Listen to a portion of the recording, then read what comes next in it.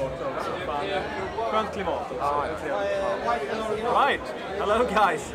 And uh, welcome. Uh, I'm here at uh, the uh, Stockholm Beer and Whiskey Festival with Conny Andersson. Hi guys. And it's the, the launch of his uh, Hope and Glory that I will be reviewing right now. It'll be a very unbiased review so, um, do you want to stick around for this one, Conny? No. Okay. Cheers, mate. Cheers. okay. So, actually, first of all, this beer has been made in collaboration with Venngarns Brewery, um, brewery that started up one year ago in Sweden, and they made the Hope and Glory IPA, which actually has Perique tobacco in it. And Perique uh, is a pipe tobacco that's now used in Hope and Glory. So we got the beer, we got the snus, and briefly I'll tell you about the beer.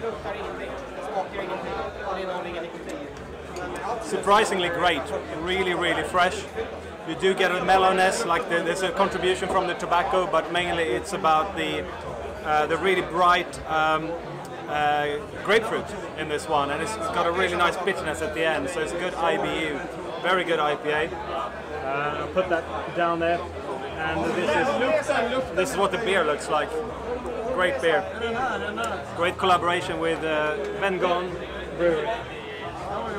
So today we're looking at uh, IPA Hope and Glory Original, and it's made by AG Snus, uh, blended by Conny Andersson. Uh, and IPA Hope and Glory White. And later on, I think we will get uh, loose as well. So the um, about uh, the, the statistics of these, uh, you get 0.9 gram portions in them.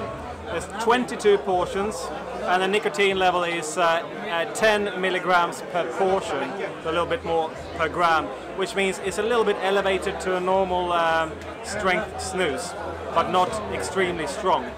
And uh, this time around, it's not part of the crafted series. This time around, it's actually sort of price-wise, we're looking around the X range. Uh, uh, which you know means it's a really competitive uh, snus, not one of the more expensive ones like he normally makes. And the way he can do that is by sort of lowering the amount of uh, uh, portions in it. So you got 22 portions instead of 24. But you, you, it shouldn't be any any less quality. He's not com- compromising on the quality. He tells me. So let's get into these.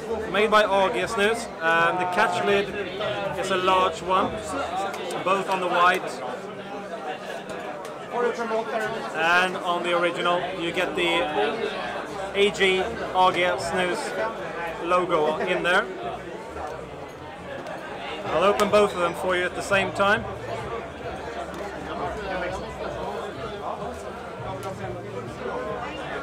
I can smell it already. And as always, I really, really like uh, AG Snus portions. They are some of the more beautiful portions on the market, I think. So you see a really clean looking, soft to the touch uh, white portion and a pretty moist um, original portion. It's not as moist, I would say, here as uh, the, uh, the crafted snus whiskey, uh, which is also by Conny Andersson, but it's got a good moisture to it.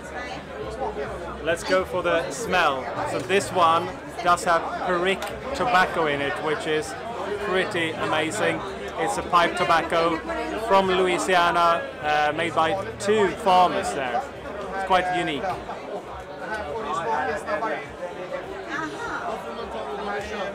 It's interesting because you get you get a citrus quality to it, but it's not straight lemon. There is a sweetness in the background, and uh, I've just smelled like um, an extract of the um, of the Perique that they used in the beer, and you do get that sort of interesting uh, mellowness from the tobacco. Surprisingly mellow. You don't think it's going to be that mellow, maybe, but it it, it, it, it makes it kind of sweeter. Uh, let's see what the uh, original will bring.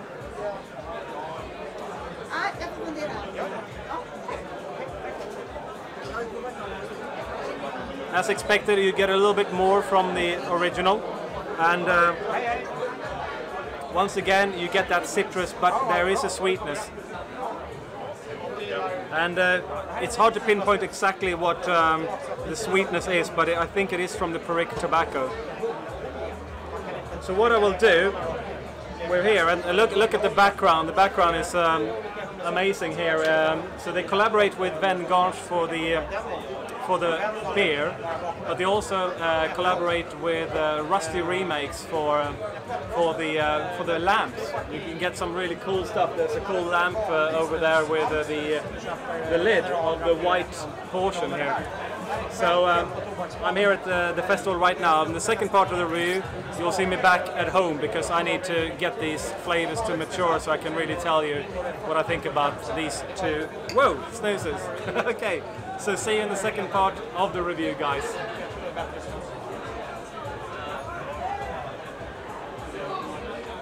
Wow, where to start with these? First of all, I really like the artwork on both of these. Some of the best on the market, I would say.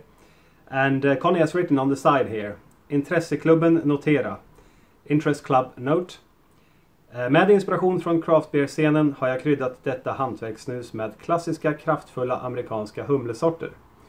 With inspiration from the craft beer scene, I've spiced this snus handicraft with classic, powerful American hop varieties.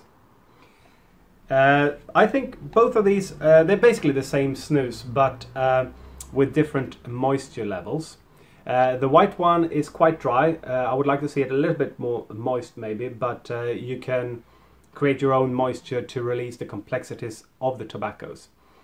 And uh, it's initially really hard to pinpoint the flavors and aromas in these ones because I think they might be the most complex snuses on the market actually. Uh, the complexities uh, of the white one still come through but I think uh, it's a little bit more um, bright, maybe, and uh, in, in the initial aroma. It takes a while to release that mellow sweetness that you additionally get in the original portion, being more moist. So what do I get from these then? From both I would say I get like a tropical fruitiness, just like in IPAs. Uh, I get passion fruit, pineapple, citrus, uh, maybe even mango and pear. Uh, there's of course a hoppiness. Uh, those fruits I just mentioned can come through from the hops. And Conny has used uh, Centennial, Mosaic, Simcoe uh, hops and another wild hop as well. Uh, there's a sort of a resiny, bitter pine that definitely comes through to the taste. And um, I also get like a perfumy floral note and it's quite herbal as well. It's brilliantly mysterious and unique. Uh, the original portion, being a bit more moist, instantly releases uh, more sweetness and spiciness that you get from the Perique tobacco. Uh, it uh, brings a mellowness that uh, you don't get in the you didn't get in the Mellgren snus, which was uh, Conny's previous IPA snus. and although this is a little bit sweeter, it never gets cloying. Uh, the Mellgrens also tended to go a little bit soapy. I think that came from the Cascade hops. No Cascade hops used in this one, uh, which means you don't get that soapiness. So I think it's a better sort of long-term use snus than Mellgrens. Uh, the, the winners in the in the long run. They're very fresh, still with a cutting bitterness. So they are like a American West Coast style IPA. So they're true to to the name IPA here.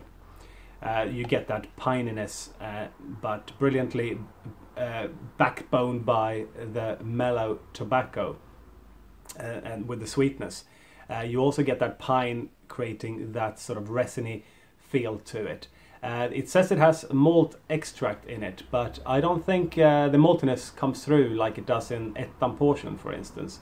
So it is, once again, like the West Coast style IPA, where there's not an awful lot of malt going on. It's, it's mainly about the hops.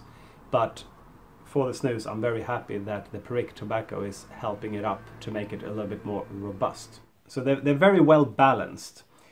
Uh, from the Perique uh, extract that I smelt last weekend, I got like um, toffee and port character to them. And I don't get that so much here in the snus portions. Uh, so it'll be interesting to see what uh, the loose version will bring in the future if it's uh, more robust on the Perique than these ones. So these are fragrant fresh snuses uh, with a good backbone. Really fresh, really well balanced, great hoppiness. You do get hops in this one. It was more like a lemon curd in the Mellgrens. Uh, but mellow at the same time. You can use it more long term. It has a darkness from the tobacco. It's quite bitter. Uh, it kind of cuts through a little bit, never cloying. So, great snus. And uh, I prefer the original portion to the white, I would say personally. But uh, both are really good.